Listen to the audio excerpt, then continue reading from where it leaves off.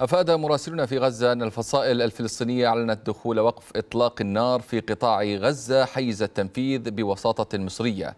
كما قالت مصادر إسرائيلية أن جهودا مصرية أسفرت عن تثبيت وقف إطلاق النار بين الفصائل الإسرائيلية وإسرائيل في القطاع وأن هذه الفصائل أكدت التزامها بهذا الإعلان طالما التزمت به إسرائيل. وكانت الغارات الإسرائيلية على قطاع غزة قد أوقعت سبعة قتلى فلسطينيين خلال الأربع وعشرين ساعة.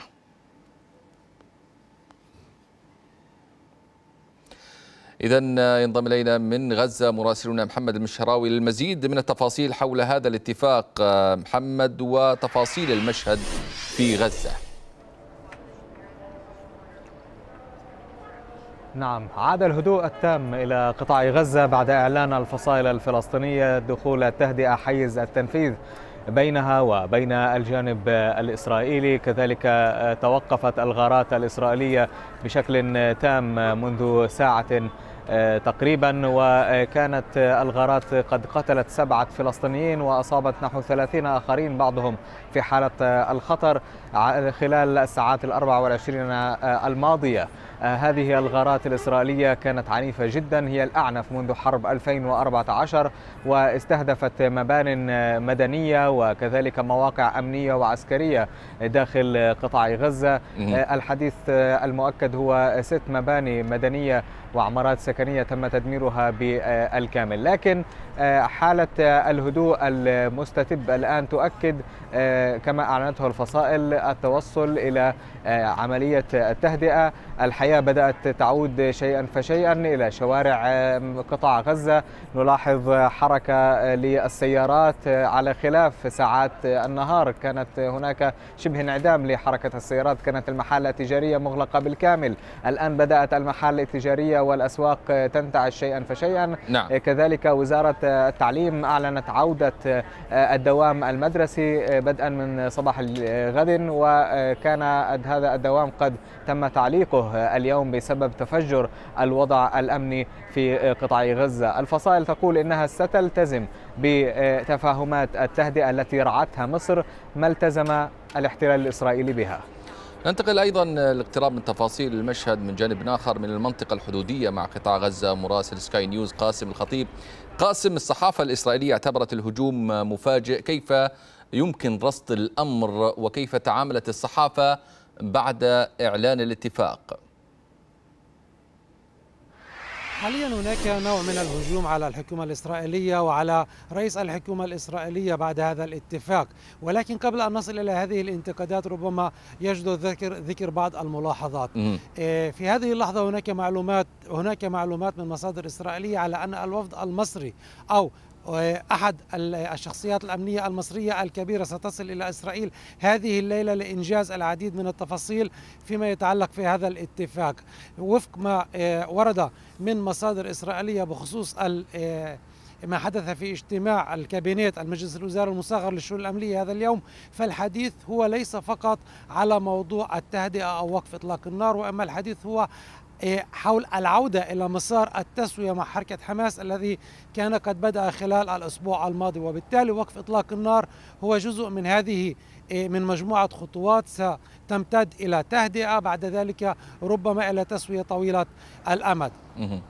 خلال الاجتماع كان هناك موقف مواقف للأجهزة رؤساء الأجهزة الأمنية الإسرائيلية التي دفعت باتجاه هذا الاتفاق وعلى ما يبدو فقد خرج نهائيا إلى حيز التنفيذ. نعم قاسم الخطيب مراسل سكاي نيوز كان معنا من المنطقة الحدودية مع قطاع غزة ومن غزة مراسلنا محمد المشهراوي. شكرا جزيلا لكما. أيضا نستمر في نقاش هذه التطورات إذ ينضم إلينا من رام الله عضو المجلس المركزي لمنظمة التحرير الفلسطينية الدكتور نبيل عمرو. دكتور نبيل البعض كان يتوقع أن المواجهة قد يتسع مداها. كيف تقيم الاتفاق وما تم بعد هذه الغارة والتصعيد الإسرائيلي؟ شوفوا وكان يمكن أن يتسع مدى المواجهات لو أن العملية الإسرائيلية لم تفشل أو لو أن من غزة بدأ إطلاق النار. كان يمكن جدا أن تتطور إلى اشتباك واسع أو إلى حتى اجتياح جزئي. نظرا لكمية الصواريخ التي خرجت ونظرا للإصابات. قتيل آه، في عسقلان وما مع أنه فلسطيني ولكن في نهاية المطاف أصيب إلى جانبه إسرائيلي وضابط قتيل. وبالتالي الخطأ الإسرائيلي والفشل الإسرائيلي في العملية الاستخبارية هو الذي جعل العملية محدودة إلى هذا الحد. ولكن يجب أن لا يشغلنا هذا عن أن الوضع في غزة هش تماما وإمكانية أن تستأنف اشتباكات أمر وارد تماما بقدر ما هو صعب الوصول إلى تهدئة مستديمة. لذلك إسرائيل لا تريد الآن أن تتورط بعملية عسكرية واسعة النطاق خصوصا بعد خطأ العملية الاستخبارية ولكن في نفس الوقت عندما تجد سانحة لأن تختطف أو لأن تستعيد الذين يحتجزون في غزة فأعتقد أنها لن تكترث بالتفاهمات وستفعل ما تستطيع فعله. ما الأهداف إذن في رأيك بعد المعطيات؟ هناك تعتيم من الجانب الإسرائيلي حول أهداف هذه العملية في رأيك كيف يمكن تفنيد الأمر دكتور نبيل؟ يعني خلينا نقول إنه هم استغلوا وقف إطلاق النار الموضوعي والذي لم يتم باتفاق موقع والذي تم بالطبع بجهود ثلاثية قامت بها مصر ومولتها آه، قطر ثم تدخلت الأمم المتحدة بجهود ملموسة في هذا المجال. نشأ وضع في غزة ظن الإسرائيليون أنه حالة استرخاء. وبالتالي ظنوا أن الجو مواتي لأن يخلصوا ربما موضوع المختطفين آه، المحجوزين في غزة دون أن يضطروا إلى دخول عملية تبادل مكلفة بالنسبة لإسرائيل. ولكن ليس دائما تأتي الأمور كما يريدون. كان هنالك يقظة من قبل عناصر آه، القسام واستطاعوا هؤلاء أن يفشلوا هذه العملية رغم أنهم قدموا ثمنا باهظا لهذا الذي تم. وبالتالي هذا بالضبط ما حدث. وإسرائيل تحاول قدر الإمكان الآن أن تبعد عنها آه، تهمتين. الأول أنها تسعى إلى التصعيد والثاني أنها تفشل استخباراتيا وبالتالي في موقف حرج. وهذا دفعها إلى الإسراع في قبول العودة إلى موضوع التهدئة وربما إلى مسار التسوية غير الموقعة بينها وبين حركة حماس بالجهد المصري. تحدثت أن الوضع لا زال هشا ضمانات عدم آه، عودة آه، مثل هذا التصعيد دكتور نبيل. لا ضمانات. يعني خلينا نراجع السنوات الماضية التي اشتعلت فيها حروب شاملة وحروب جزئية وعمليات متبادلة. لا يوجد ضمانات على الإطلاق بأن الأمور ستهدأ أو ستهدأ لفترة طويلة المدى. ذلك بسبب أن هنالك اكتظاظ هائل للميليشيات والقوى والأسلحة في غزة وهنالك أيضا استطلاعات رأي في إسرائيل تحكم القرار السياسي خصوصا إذا ما كان الأمور تتجه إلى انتخابات. الآن نلاحظ أنه داخل مجلس الوزراء المصغر توجد مزايدات بين أعضاء هذا المجلس من يريد أن يجتاح غزة ومن يريد أن يقتل أكبر قدر ممكن ويدمر أكبر قدر ممكن. إذا غزة دخلت كناخب داخل الحياة السياسية الإسرائيلية. وهذا يؤدي إلى الضرب عرض الحائط بكل التفاهمات إذا ما شعر أي فريق بأن الضغط باتجاه التصعيد يخدم انتخابيا. ضابط اللعبة حتى الآن هو نتنياهو. نعم. إذا ما شعر أنه بحاجة إلى حرب في غزة يفعلها بلا تردد. دكتور نبيل تأثير هذا التصعيد على الجهد المصري الرامي آه، من جانب إلى المصالحة ومن جانب آخر إلى التهدئة ثم سنتحدث معك عن يعني احتمالات العودة إلى مسار المصالحة تأثير ذلك آه، تأثير التصعيد على الجهد المصري كيف تراه؟ لا شك أنه محرج لمصر الذي حدث والسبب الإحراج أن الذي ضرب عرض الحائط هم الإسرائيليون وليس حركة حماس التي فيما يبدو كفلتها مصر في أي تفاهم يتعلق بالتهدئة.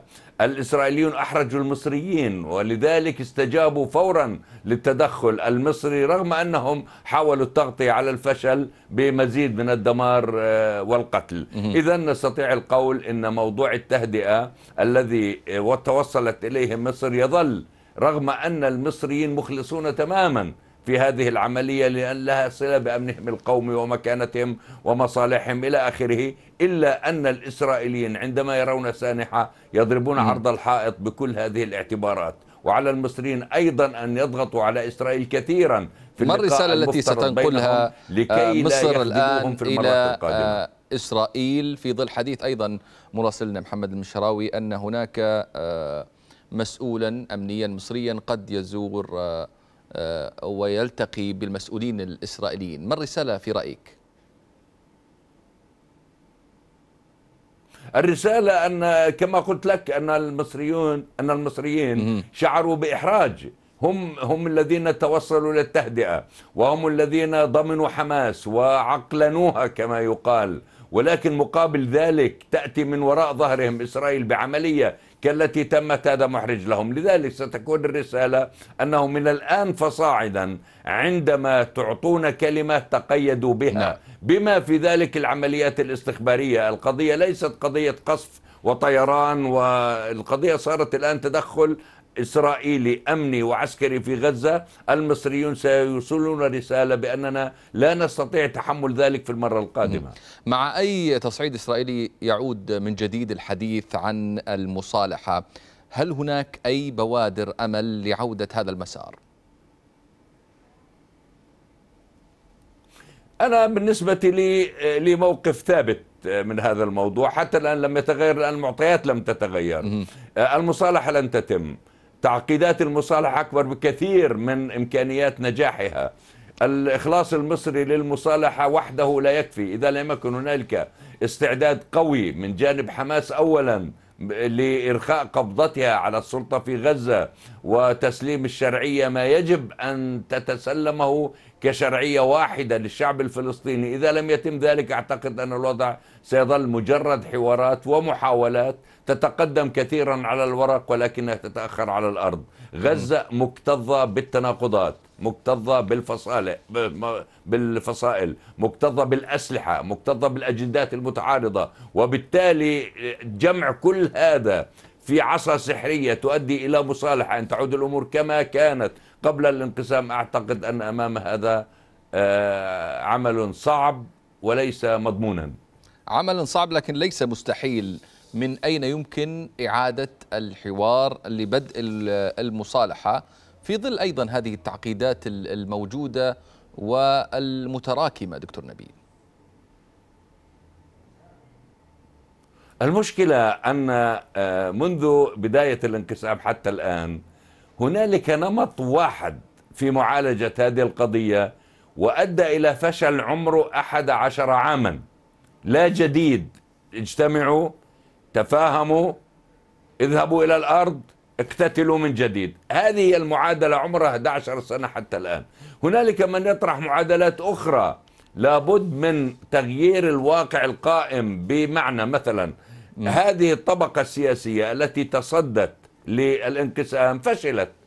إذا ونحن الفلسطينيين لا يوجد عندنا تقاليد الانقلابات وما إلى ذلك. إذا لماذا لا يذهب الجميع لانتخاب قيادة جديدة؟ لعل المنتخبين المتجددة شرعيتهم على كلا الجانبين يستطيعون إحراز ما لم يستطع إحراز القائمون الآن. هذا هو الحل الجذري للموضوع. دون ذلك ستظل اللقاءات تتم والقاهرة طويلة روح وستصبر عليهم وتقترح صيغة مرة متدرجة ومرة غير متدرجة وهكذا. ولكن الفجوات القائمة بين كل مرحلة وأخرى قد تؤدي إلى مزيد من التراجع للوراء وهذا مجرب. كلما تقدمنا باتجاه صيغة للمصالحة نذهب إلى الأرض لنتراجع خطوات إلى الوراء يعني خطوة إلى الأمام وخطوتين إلى الوراء لذلك نعم. لابد من تغيير الشرعيات القائمة الآن عبر صندوق الاقتراع وإظهار قيادة جديدة لعلها تستطيع أن تنجح فيما لم تنجح فيه الطبقة السياسية الحالية على كلا الجانبين الدكتور نبيل عمرو عضو المجلس المركزي لمنظمة التحرير الفلسطينية كنت معنا من رام الله. شكرا جزيلا لك دكتور نبيل.